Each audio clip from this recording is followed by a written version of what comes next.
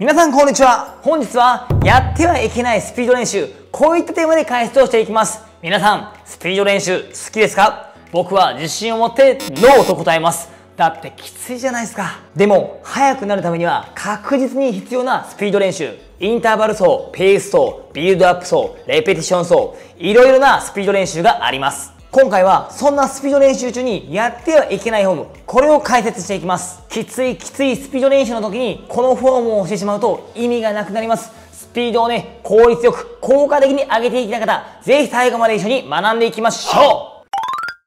まず、スピード練習中にやってはいけないランニングフォーム。それは力みです。ベスト言い方をすると、しっかり脱力しながらスピードを上げていきましょうということですね。ああ、脱力ね、と思う方も多いのではないでしょうか。でもね、スピードを出す時ほど力を抜くって、なんかちょっと矛盾してませんか？むしろ、スピードを出す時ほど力をたくさん使う、こういった発想が普通ですよね。しかし、長距離やマラソンの一番重要なポイントというのはいかに楽に長く走り続けることができるかどうかなんです。ここで比較のために短距離と長距離の違いというのを説明します。短距離というのは高出力短時間の運動、強い力の運動を短い時間続けます。例えば 100m で言えば10から15秒ほど 200m であれば20秒から30秒ほど全力の運動を続けますよねそして長距離というのは低出力長時間の運動です。弱い力の運動を長時間できるだけ長く続けていくのが長距離やマラソンのポイントです。1万メートルはトップクラスのランナーでも30分ぐらい走り続けます。そしてマラソンでもトップクラスのランナーは2時間以上走り続けますよね。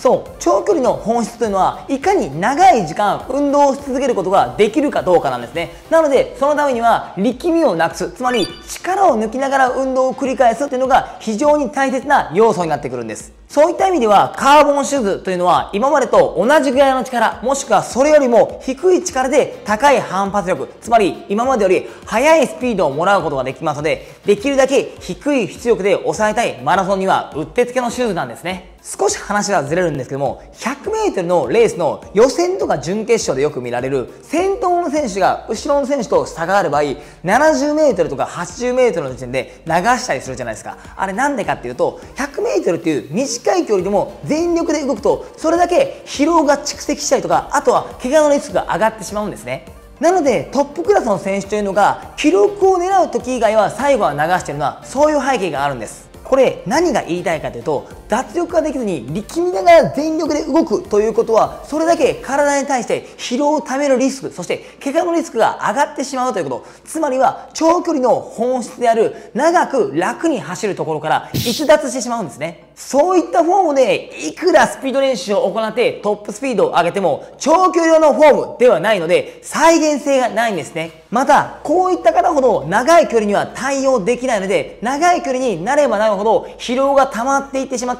失速してしまうんです。それでは逆で普段からゆっくりのジョグしかしないのにレースになったらやったら速い人っていらっしゃいませんか？あれ僕なりに考えてみたんですけども普段からやっぱりゆっくり走ってる人で脱力がめちゃくちゃ身についてるんですね。なのでそういった方がスピードを上げてもやっぱり力は自然と抜けているのですごく再現性が高い。要は長距離の再現性が高いフォームが身についている。そういった背景ありそうだなと思いました。まああくまで僕なりの考察です。速い人ほど力みがなく速く走っているように見えませんよねそういった方ほど低出力、低い力で効率よくスピードを上げていってるんですね。そしてそのスピードというのをうまく持続させていってるんです。つまりうまく力みをなくして脱力を使いながらスピードを上げていっているということになりますね。いかがでしょう？スピード練習、スピードを上げるぞという時って意気込んでしまってついつい力みがちですよね。そうではなくて長距離というのはスピードを上げるっていうのとそのスピードを持続させるっていうのはセットなんです。持続のポイント、それは体力温存、いかに出力を抑えて効率よくスピードを上げていけるか、これがポイントですね。そのためには無駄な力を抜く、これが今回のテーマです。それでは今から脱力のコツというのを動きながら解説をしていきます。ここからが大切ですよ。はい、それではここから大事なポイントです。まあ、脱力といっても、全身の力を抜いて、こんな状態で走りましょうって言っても、これ絶対走りますよね。つまり、脱力というのは、ポイントポイントはしっかり力を入れて、それ以外のところは力を抜いていきましょうというところなんですね。じゃあ、どこの力を入れて、どこの力を抜けばいいのか。それは、力を入れる場所っていうのは、体の中心部、つまり、大きい部分のところですね。胸周りであったりとか、あとは体幹と言われるお腹周り、そして骨盤のお尻周り、ここの力を使って走って、それ以外の膝から下であったりとか、肩から下、この辺りの力を抜いていきましょうというのが脱力のポイントになります。これはスピード練習の時にすごく大事な要素なんですね。なぜかというと、お尻の力を使えば使うほど、やはり前の推進力、つまりスピードは上がっていきます。でも、膝から下、つまりふくらはぎや足首の力が入っていると、ここに力を集中してしまって、お尻に力を集中できない、つまりお尻に力が入らない状態になるんですよ。なので、スピードを上げていきたい場合は、お尻に力を入れるっていう発想も大事なんですけども、ここから下の力を抜くことによってお尻に集中できるので自然とお尻に力が入りやすいポジションに持っていけるんです。つまりは膝から下の脱力というのはお尻の力を入れる。ここに勝手に結びついていくわけなんです。なのでスピード練習をする時っていうのはこっから下の力を抜くっていうのがめちゃくちゃ大事なんです。けどもまず力を抜けてる時っていうのはどうなってるかというとこうやって足を振るとですね力が抜けているとこのふくらはぎの筋肉とかこの足首から下っていうのがちゃんとプルプルプルと震えてくるんですね。これ逆に力が入っている状態だと足を振っても足首はブラブラ寝ませんしふくらはぎの筋肉は揺れません。なのでまずそもそもここの揺れが悪いなとか足首揺れないなという方はこの体勢でまずは力を抜く感覚っていうのを掴んでみてください。ゆっくりやっていくとちょっとずつ分かるようになります。そして慣れてきたらこうやって大きく振っていく。こうしていくことによって徐々に段階的に力を抜く感覚っていうのが分かるようになります。そしてウォーミングアップでちょっとやっていただきたいのが少し腰を落として体重どちらにかけても OK です。足を後ろに蹴る。蹴る動きですね。前から後ろに蹴るときに推進力というのは出ますよね。なのでこの後ろに蹴るときにちゃんと脱力できているかどうかなんですね。この動きです。そしてこの動きを徐々に大きくしていってうまく脱力ができているとこういうふうに勝手にかかとがお尻に近づきます。かかとがちゃんとお尻に近づくということはこれ脱力ができている証拠なんですね。力が抜けていると要はこの足がムチみたいにしなって勝手に巻き上がってきます。ムチって先っぽ力入っていないじゃないですか。そのようでここも力が抜けているとムチのように自然としなってお尻に近づいてくるんですね。これを徐々に大きくしていくと股関節の可動域も広がっていってお尻の力が入ってきます。そして膝から下がムチのようにしなって自然とかかとがお尻に近づく。っていう風になるんですね。これ仮に足首に力を入れてやってみるとこれ今足首ね力をグッと入れました。この状態で蹴ると分かりますか？全然無知のにしならないですよね。これが力みの副作用です。力んでいるといかに下半身がうまく働かないか分かりますよね。これうまく働かないからどうするかというと勝手にもっと速く走りたいからもっと速く動かないとって思って一生懸命引きつけてくるんですね。そうするとエネルギーのロスがすごくなりますし一生懸命引きつけてくるからやっぱり筋肉もすごく疲れるんですね。力みはやっぱりエネルギーロスにも筋疲労にもつながってしまうということになります。なのでスピード練習の時はお尻周りや体幹に力を入れるウォーミングアップ。これを行うのもいいんですけども膝から下の力を抜くっていうところもしっかりと意識して取り組んでみてください。そうするとね自然とこのお尻や体幹に力が入りやすくなります。そしてじゃあ上半身腕振りはどこから行ってどこの脱力をするのか。それは胸の力胸から振って肩から下は脱力します。これはちゃんと理由があって腕というのはこの胸のこの真ん中の胸骨というところから始まってます。ここから鎖骨を介してこの肩甲骨とくっついてそしてこの肩につながってるんですね。なので胸からこの肩は全部つながってるんですよ。というところを覚えておいてください。なので自然と胸を振れば上半身っていうのは全体的に動くんですね。なので上半身の腕振りというか腕振りというのはちゃんと胸から中心に振ることによって腕全体が動くようになっていますよ。というふうに覚えておきましょう。なので動かすべきっていうのはこの指先や肘から下そして肩ではなくてこの体の中心胸ですね。じゃあこれをどうやってやるかっていうとまあまずドスドスッと構えていただいて、まあ、胸とか、まあ、だらっとしておいた方がいいです。だらっとしましょう。そしてこのまま体の中心から胸を動かしていく。そうすると体の中心から振ると自然と手が触れますよね。この時に手にグーとか作ると力みが出てしまって腕振りが硬くなりますね。そうすると腕全体に力が入っちゃいます。なので腕の力はまずリラックスして胸から中心で振ると自然のほら手がブラーンブラーンブラーンってなりますよね。昔格闘技であのヒクソン・グレイシーでなんかこういうなんかウォーミングアップみたいなのありましたよね。あのイメージです。わかるかな？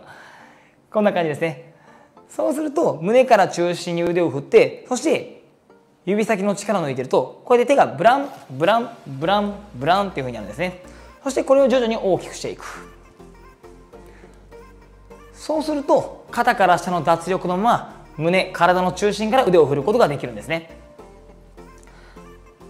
なのでこの中心から腕を振るっていうことを覚えてあげるとこの肩から下の力抜けるっていうことなんですね。そしてこの体の中心つまり胸周りの方が筋肉が大きいですよね。筋肉が大きいということは強い力を使います。強い力が使えるということはそれだけ大きな力が出せるということですね。要は小さな動きでも大きな力が出るっていうことなので出力が抑えながらも強い力は出せるんですね。なので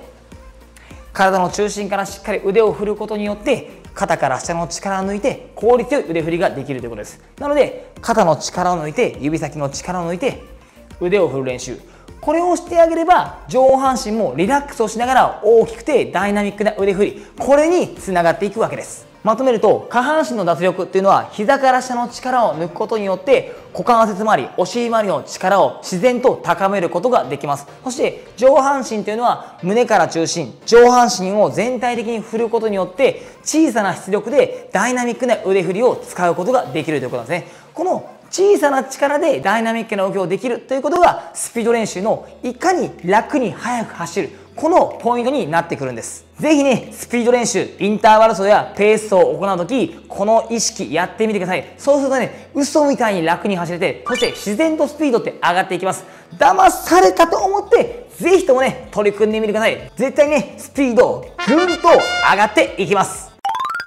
はい、本日の質問はですね、肋骨を骨折した時っていうのは、まだ痛みが残ってる間でも走ってもいいんですか？それともしっかりとつながって完治するまで待った方がいいんですか？という質問ですね。ありがとうございます。この質問ねちょっとね医療系の質問なのでちょっと迷ったんですけども、まあ、結構ねこの肋骨を折ったとか骨折関係の質問もちょいちょいいただくので、まあ、あくまでね僕医療関係者ではないのであくまで一意見としてお聞きください。そもそも肋骨っていうのは呼吸をすると膨らんでそして息を吐くと縮まりますよね。つまり呼吸とかでも膨らむ閉じるっていう動くわけなんですね。つまりどういうことかというと肋骨が折れた状態つまりまあひびとか折れたりするじゃないですか。そうすると息吸うとそれだけね肋骨ずれるんですよね。そんな時にねランニングなんかしちゃうと肋骨ずれで固まっちゃいますよね。まあっていう発想になると思うんですけども。なので肋骨が折れてる時に呼吸だけでもずれるような肋骨の時にランニングをしたりするとやっぱり痛みの治りも遅いと思いますしあとはずれて固まったりしたら嫌じゃないですか。なのでそういった意味ではやっぱりちゃんと塞がるまではコルセットというかちゃんと固めて安静にして待ってあげる。僕はこれが最善だと思うので少なくとも僕はそうします。なのでまあ僕は基本的にはねもう肋骨の怪我とかもうこの骨折とかであろうが何であろうがしっかりと完治するまではおとなしく待ってそして完治してから徐々に徐々にトレーニングを開始していく。僕はこういう考えなんですね。焦ってね練習を再開して、まあ、8割ぐらい回復したからしっかり練習しようと思ってまた怪我再発しても絶対嫌じゃないですか、まあ、そうならないためにはしっかり治してから完治してからちゃんと練習に復帰する。これがねやっぱり長期的に見た時は一番いいんじゃないかなと思いますので、まあ、今怪我されてる方とかね骨折しちゃったという方ちょっと走れないのね辛いかもしれませんけれどもやっぱりねここはぐっと我慢してしっかり直して長期的なね目線を持ってしっかり直してから再開するようにしましょう。大丈夫。ランニングはね逃げませんから。いつも高評価、コメント、本当にありがとうございます。皆様の高評価、コメント、動画を作る励みになっております。今日の動画も参考になるところあったなと思ったら、ぜひともね、高評価ボタンよろしくお願いします。そして、コメントにて疑問、質問など受け付けております。何かね、気になるところあるなとか聞いてみたいなっていうところあったら、ぜひともね、コメント欄によろしくお願いします。また、LINE 公式アカウントにて練習会の情報など流しておりますので、こちらも忘れずに登録よろしくお願いします。本日は以上です。最後までご視聴本当にありがとうございます。こちらのチャンネルでは、ランニングに関する情報や走り方、そういった情報を配信しております。今日の動画参考になったけどまだチャンネル登録をしていない方、これを機会にポチッとよろしくお願いします。Twitter、SNS で高山マラソンシェアしていただければ本当に嬉しいです。それではまた次の動画でお会いしましょう。じゃあね